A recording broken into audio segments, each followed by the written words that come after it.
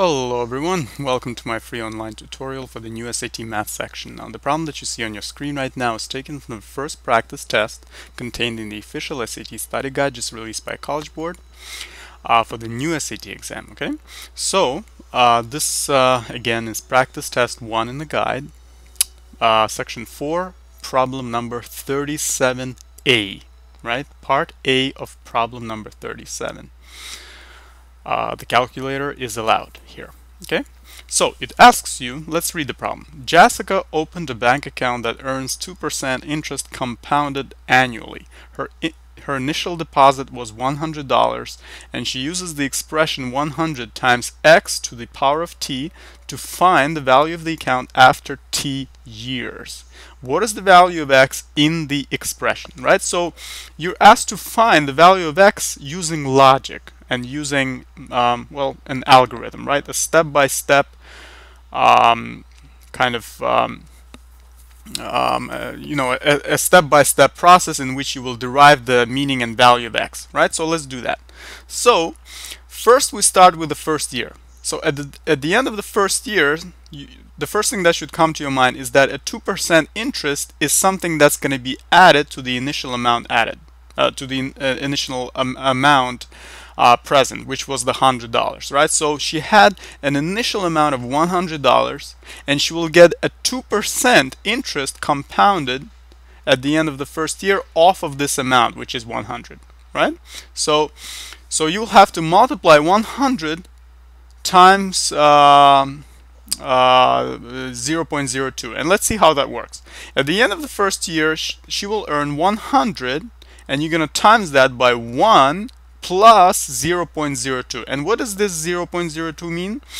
It basically gives you a numerical value for the percent right? Because uh, a 2% of something is something multiplied by 2 divided by 100 right? Because 2 divided by 100 is going to be 0.02 right? So remember that any uh, um, x percent of something is x uh, divided by 100 times this something.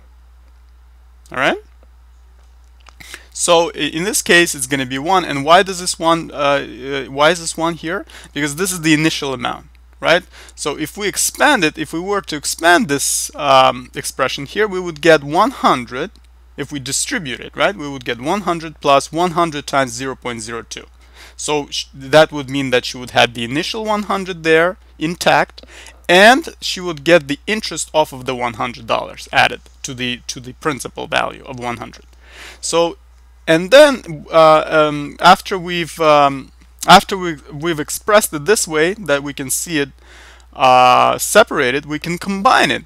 So we uh, add this we make this as a single number and this becomes 1 1.02 right? So 100 will multiply uh, to 1.02 right? And this basically means 102%, right? Because if you convert it back to percentage, you'll know that 100, uh, uh, 102% um, of 100 will be what? Will be $102, right?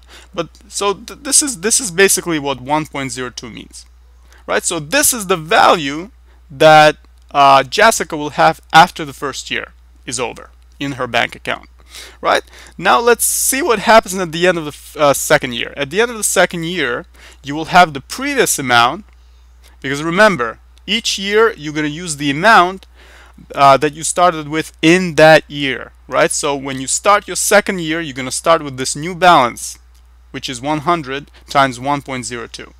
So, and based, of, based off of this new balance, you will get uh, an additional interest of 2% at the end of the second year. So this is what we're doing.